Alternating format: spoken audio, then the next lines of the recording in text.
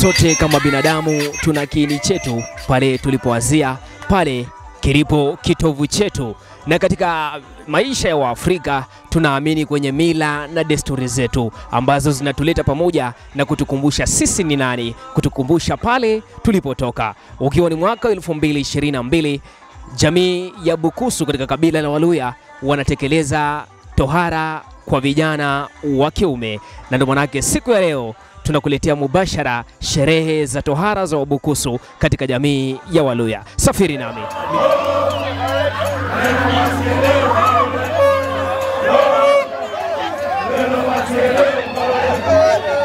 Tohara katika jamii ya Bukusu ilianza katika miaka 1800 wakati ambao wavulana walitahiriwa kwa mawe kabla ya kuanza kutumia visu. Kulingana na historia ya Bukusu, mwanzilishi wa tohara kwenye jamii hii alikuwa Mango mtoto wa Wetungu ambaye aliua nyoka iliyojulikana kama ya Bebe katika eneo la Muyala na ambalo kwa sasa ni shule ya St Mary's High School Amukura.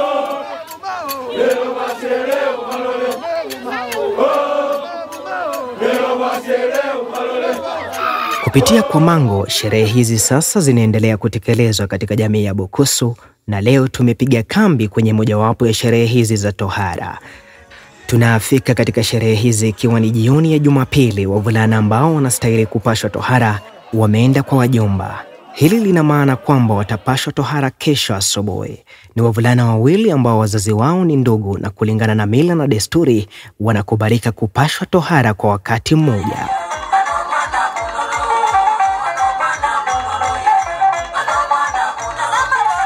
Furaha imeshamiri, akina mama wakiwa wameweka kando matatizo yao na kusakata densi kisawasawa. Wengine wameshika makupa ya pombe ya kitamaduni maarufu kama busaa, kuonyesha kwamba mimi ni mmoja wao na pia naheshimu tamaduni zao. Napewa kopo la busaa kupiga angalau mkupuo.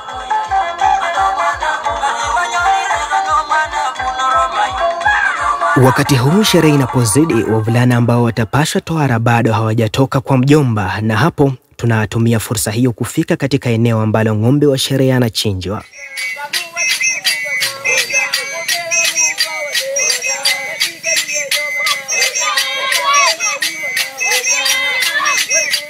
Mtazamaji, tumesha mchinja ng'ombe wetu, inamaanisha kwamba sherehe inaendelea kupamba moto. Kumbuka kwamba tuko kwenye sherehe za kitamaduni za jamii ya Bukusu katika kabila ya Waluya. Baada ya hapo tunapata nafasi ya kuzungumza na wazee wa jamii ambao wanatueleza kwa upana chanzo cha tohara katika jamii ya Bukusu. Wa kwanza kabisa, hapa awali hatukuwa tukitayari. Wa kwanza kabisa ali, aliua nyoka. Vile aliua nyoka, ndio tohara ikaanzia pale. Wasaboti ndio walikuwa na tahiri, hawakuwa na kata na kisu, walikuwa natumia mawe kutairisha. Sasa vile iliendelea, sisi tukashika hii utamaduni, ndio mambo ya visu sikaanza. Mmesimamia hapo mahali tuliweka na mwima zile viji vitatu, hizo ndio zinaongoza hadi sasa. Mtu amekuwa mtu kamili kutoka kwa watoto, kwa utoto akitahiri namna ya nakuwa mtu mzima. Ikichinjwa hivyo, mtoto aka njiani anatoka kwa wajomba wao anakuja. Umesema kwamba tohara ilianza na Wasaboti kabla ya jamii ya Bukusu kuanza rasmi. Sasa tuzungumzie tohara hii katika uh, vijana wa, wa kiume kwenye jamii ya Bukusu. Kuna umri ambao labda lazima kijana afike ndo apashwe tohara ama wanazingatia nini? Hapa awali tulikuwa naenda na umri wa kwanza kabisa kutairi mpaka ajue kutengeneza store ya, ya kuweka chakula lulama. Asipofanya hivyo awezi akatairi. Pili, akitairi atakuwa ni mtu mzima. Mtu awezi akacha akachokosa baba yake, alafu yeye analia ati baba anapikwa ama nini. Yeye atakuwa pia tayari kupambana na ule adui mm. Awezi akanyamazia. Lakini siku hizi kuambatana na vile digital inaendelea, watu unaweza pata mtoto wa miaka kumi ana tairi na huyo mtoto wa miaka kumi yeye awezi akashika tamaduni vile ilikuwa inaendelea. Akiingia kwa masomo, utaona utamaduni ni mwendea kombo kabisa, nasahau zile ambazo zilikuwa natendeka. Si samani tulikuwa na tairi na miaka ishirini ishirini na moja kama huko tayari kuoa mtu aweza akaja akaingia kwa boma bila idhini ya wasasi mkenyamazia, wewe uko tayari kupambana na adui eh. Sasa siku hizi kwa mambo ya digital, watoto hata miaka ku- kumi kumi na mbili unaona anatahiri. Na baada ya mvulana kutahiri, ni vitu vigani ambavyo sasa anaachana navyo kabisa, na ni vitu vigani ambavyo hakuwa anafanya ambavyo sasa anafaa kuanza kuvifanya? Ya kwanza kabisa akitairi namna hivyo, awezi akaingia kwa boma la ndukuye kama ye mwenyewe hayupo. Hiyo ni kinyume ya, ya sheria. Iwapo ati pengine ame ametembea lakini amechoka, kama ndugu yake hayuko mpaka ambatana na rika yake, waenda wakae huko, lakini hawezi akaingia ati kwa sababu kwa ndugu yake alale hapa, hapana. Mm, Yeye ni mtu mzima mm. Kulala katika nyumba ya baba na mama ni mwiko kwa mvulana aliyetairiwa. Hivi ni kama anavyoeleza mzee Geoffrey Koliho. Jambo la kwanza la muhimu, kwa majina mi naitwa Geoffrey Koliho. E, kitu cha kwanza ku, ku, kulala kwa nyumba ya baba na mama penye wanalala atakuwa amekana kabisa. Haya, namba two, kuokelea maji, labda alikuwa na mchezo wa kuokelea hivi. Kwa sisi Wabukusu sasa, akisha tairi hawezi okelea maji mtoni, Eh, hawezi kumeka utonga akifanya hii vya koko utoto. Amekuwa sasa mtu mzima, anangojea ku, kuwinda watu wakicha, maadui wakicha, anasaidia papa kupambana nao. Mzee Peter Masibu anatuelezea ni nini hasa ambacho humpeleka mvulana kwa mjomba siku moja kabla ya kupashwa tohara, pamoja na tofauti ya mvulana aliyepashwa tohara nyumbani na hospitalini. kwa uchomba ameenda kuchukua ng'ombe, kurudisha ng'ombe yenye baba alioa huko, alilipa huko mahari. Eh, sasa anaenda kutoa hiyo moja arudishe hapa kwa poma. Na, na ikitokea kwamba labda baba hakulipa mahari, Ah, eh, hiyo itakuwa labda heshima, wakipenda tu ndio wamfanyie kitu chochote, lakini anaweza ruti bure bila ng'ombe eh. na, na, na kuna uwezekano pia ikuwe kwamba labda baba amepeana ng'ombe wakati wa mahari, lakini wakati kijana anarudi labda hao wajomba hawana ng'ombe, itakuwaje? hapo mtoto mwenyewe akikuwa atatairi tu amalize, lakini atastaki hao na lazima watalipa. Kienda huko alafu ng'ombe kosekane, kuna nyasi ambayo wanamuweka kwa shingo, wanatoa nyasi inaitwa luhafwa, alafu wanamfunga kwa shingo, anakuja naye. Kuambatana na vile alienda kwa wajomba wake, ng'ombe zikakosekana, hiyo mm -hmm. atadai baadaye mm -hmm. yeah. Ni nini kitafanyika baada ya mvulana kutoka kwa mjomba kulingana na mila na desturi? Mzee Fredi Nyongesa anatuelezea pamoja na kitakachofanyika kesho asubuhi, ikiwa ndiyo siku ya kuwapasha wavulana hawa tohara. Sasa pila anato, wako karibu wanafika. Sasa wakifika wata watashangilia na vigeregere, aingie kwa nyumba, watakata nyama, wachome, wakule, alafu ndio sasa wamva- wamvalishe tumbo Hiyo, hiyo, hiyo, hiyo kumvalisha tumbo ina maana gani? kuambatana na sasa hiyo tumbo inase, inasemekana vile alienda kwa wajomba wake ali, ali, ali, ali, alipea heshima ya kuwa sasa anatoka huko hatarudi huko tena, ati anaenda kudai ng'ombe. Anakuja kuchukua hii ng'ombe ya boma, atalala nayo, kesho yake ataenda nayo mtoni watamweka matope, aje asimame, wamkate, wamalize. Watamtolea sasa hiyo hii tumbo kwa hapa kwa namwima hapa mm -hmm. yeah. Sasa ba, baada ya ku, ku, ku, kuwekwa ile tumbo atatoka nayo kesho asubuhi ataelekea nayo mtoni aende awekwe matope. Ki, ki, kisha baada ya hapo? Ndio aje akatwe sasa. Akikatwa ndio watamtolea sasa na mwima nani hiyo tumbo hapo eh, ndio watakuja kumtoa sasa hiyo tumbo ya ng'ombe. eh, hii ambayo utamweka jioni hii. Eh. Wazee wetu wakitilia mkazo chakula na vinywaji ambavyo hunywewa kwenye sherehe. Saa hii ukali wa mahindi tu ndio inakulika uh -huh. eh, lakini hapa awali tulikuwa natumia ukali wa wimbi uh -huh. eh. Sasa vile wimbi mafuno inakuwa duni, kuna mahali uwezi ukapata wimbi, ndio akaweka ukali na ule mtu ambaye anakula naye si ati kila mtu atakula na ule kijana ambaye anaenda Kiondoni anachukuliwa ule mtu special alija- alitairi wakiangalia akasimama vema. Bila walimkata hakulia. Mm. hakusonga. Alikauka kama mti. Ndio naona hiyo alama ya hiyo na mwima. Simesimama tumesimama hapo. Asiwezi kasonga na hata wakicheza namna gani wawezi wakakosa hiyo na mwima. Wawezi wakaguza zile eh. unapika pombe ya, ya kienyeji ya wimbi eh, ya mahindi. Hiyo hiyo unakunya ya, ya, ya mtama ni wa, wa- waweka hapa ni kwa wakuja na mlicha waweke nini mtungi kubwa wanakunywa mpaka asubuhi.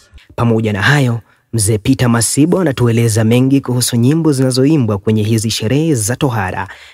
hiyo manyimbo ya kienyeji wanaimba ya Kibukusu madere matere matere ah, matere ya ya ah, matere walumonyaliva ah.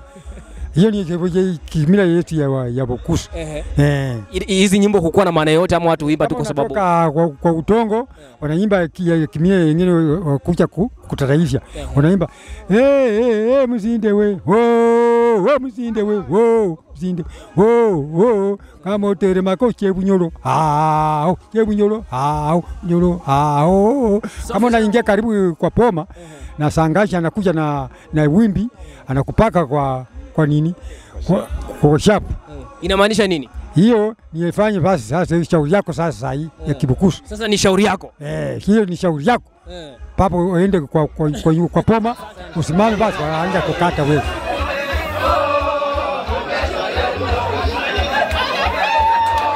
Nyimbo za kuburudisha ni za jioni hapa leo, lakini kesho asubuhi akitoka kwa poma kuenda mtoni, ana wimbo inaimbwa vachonga rayo hahoye rao vachonga mpaka mtoni, wimbo mocha tu hiyo na ya kurudi sasa kutoka mtoni ndio haho hey, oh, hey, oh. Hiyo tena hiyo tu straight mpaka kwa poma. E, akishafika kwa po, karibu na poma na wananyamaza ni kumkata tu sasa. Vilevile wazee wanaeleza maana ya udongo na nyasi kwa kichwa cha mvulana ambaye anaenda kupashwa tohara.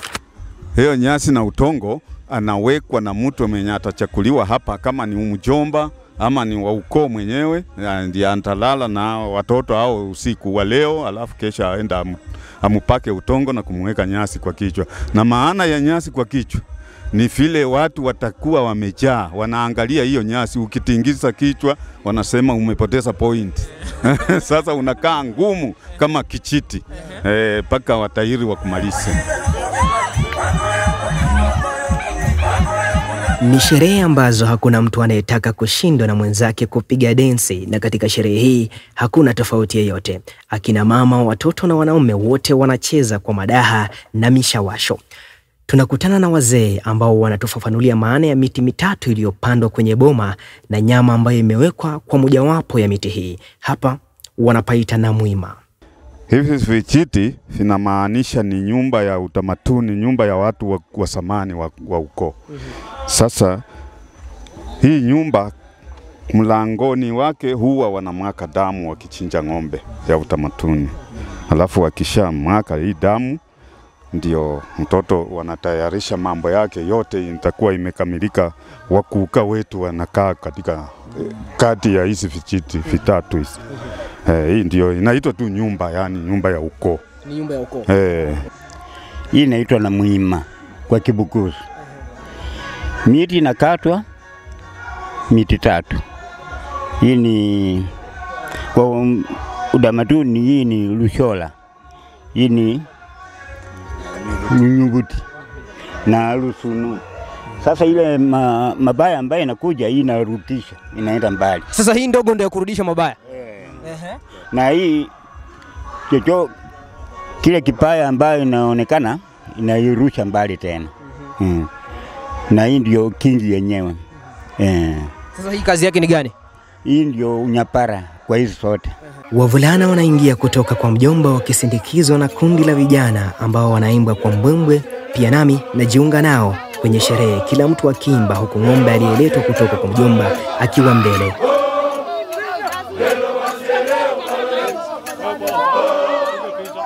Wanaondoka kwenda kulala saa sita ikiwa ni siku yetu ya pili kuandamana na vijana hawa ambao wanapashwa tohara. Leo asubuhi tunaelekea mtoni mahali spesheli ambapo wavulana hao wanaingia ndani ya maji, baadaye wanapelekwa kupakwa matope kama inavyotaka mila na desturi.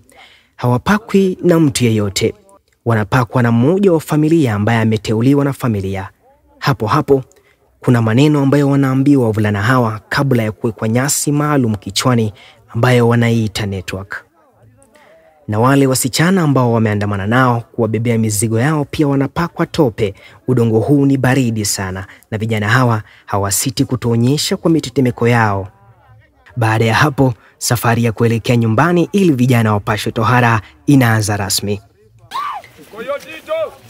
Mojawapo ya mambo ya kuzingatiwa ikiwa wanaporudi nyumbani hawawezi kutumia njia waliokuja nayo kuepuka masuala kama ushirikina.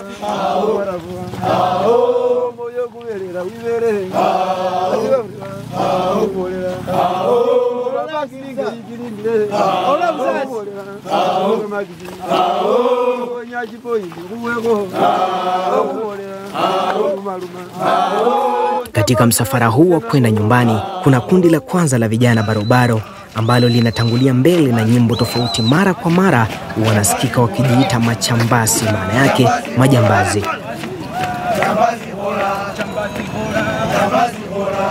ambao kazi yao kubwa ni kusafisha njia kwa kundi linalokuja na kijana ama vijana watakaopata tohara. Kundi la pili likiwa na vijana ambao ndio wanaoenda kupashwa tohara.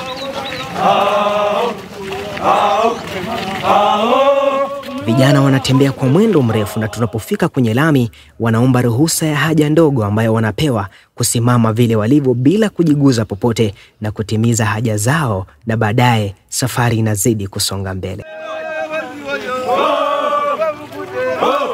Kule nyumbani, ngariba ambao ndio wanaopasha tohara wamesimama na kuweka mipango yao sawa. Wazee wanaendelea na shughuli zingine katika matayarisho, na baba amebadilisha na kuvaa kishujaa. Wakati watoto wanapofika, kila kitu kinafanyika haraka na chini ya sekunde kumi ngariba wanamaliza shughuli zao. Baada ya hapo, vigelegele vinashamiri huku watu wakileta zawadi, haswa pesa, na hapa kuna tukio ambalo linatokea na inabidi tutafute maelezo ambayo tunayapata kutoka kwa mzee wa Mbuyusi. mwenye alikuwa ameketi chini pale am, ameshachielewa. Wajua, si walikuwa watoto wawili na manduku wameleta wame, kulingana na ushirikiano wao wameamua kutayarisha hao watoto kwa poma ya huyo nduku mkubwa. So tulikuwa na watoto wawili.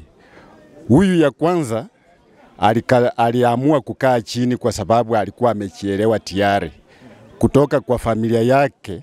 Anajua hata akisimama mpaka saa kumi ya jioni huko hataweza kupata hiyo ng'ombe, lakini huyu mwingine kwa vile alikuwa anachunga ng'ombe, vile mmeona uh, ng'ombe wamekuwa pale wengi, anajua baba yangu alikuwa amejiweza na ako na ng'ombe. Kwa hivyo kati ya hilo kikundi cha ng'ombe anajua akisimama hivi mpaka afanye nini, apewe ng'ombe, kwa sababu kile, kile kitendo amefanya pale, amekuwa kama shujaa, amesimama bila wasiwasi. Hata nyinyi mmeshuhudia, amekaa pale, ametayarishwa bila kukuwa na uoka wowote. Sasa ile yule ng'ombe ambaye amepewa ni ng'ombe wake ama baadaye anaweza kuchukuliwa? hiyo ng'ombe ni yake kabisa mwenyewe. Sasa uamuzi ni wake, atakayefanyia ni nini.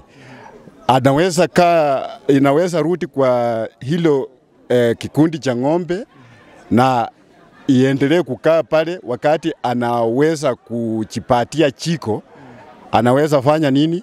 Anaweza peleka kama mahari, ama kwa saa hii tunatilia maanani ya masomo. Ikiwa mzazi ameweza lemewa kwa njia moja ama ingine, anaweza shirikiana. Sasa ni ombi kwa huyu kijana huyu mzee anaweza omba yeye, wacha tukupelekee kwa shule kwa sababu nimelemewa moja au mbili. Sasa uamuzi ni yake, sio kulazimishwa. Hiyo ng'ombe ni yake kabisa. Saa tatu asubuhi, vijana wote wawili wakiwa sasa wamepashwa tohara. Hili katika mila na desturi za jamii ya Bukusu kutoka magharibi ya Kenya linawapitisha moja kwa moja kutoka utotoni hadi katika utu uzima. Ndio mwisho wa simulizi yetu ya tohara ya jamii ya Bukusu. Msimulizi wako nimekuwa timu Munoko. México.